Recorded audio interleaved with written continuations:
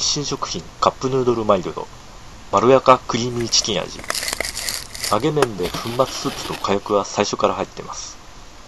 麺は扁平断面で弾力感のあるカップヌードル品質。